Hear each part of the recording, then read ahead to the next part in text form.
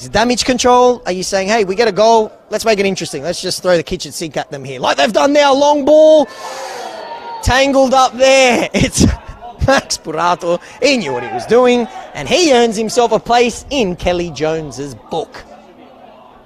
A few players saying that should be, people in the stands saying that should be a red. I don't know about that. I think the Sydney FC centre backs were coming back to mop that one up.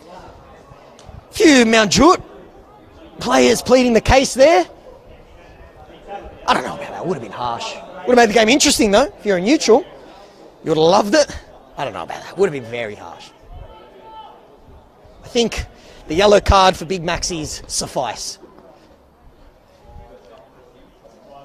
Here we go.